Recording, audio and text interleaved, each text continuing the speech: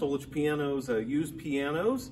I wanted to introduce today a, uh, a Baldwin H396. This is a, a, great little piano. It's a studio size grand piano. Um, it's got a lot of sound for the uh, for the size. So we're looking at about four foot eight to four foot nine inches uh, front to back.